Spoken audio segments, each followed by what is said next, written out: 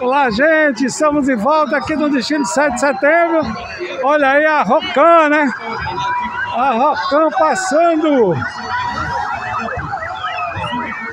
Batalhão aí de motos da Rocan, da Polícia Militar de Pernambuco. Muito bonito aqui no destino de 7 de setembro. Ó, o BPRV agora, Batalhão de Polícia Rodoviária.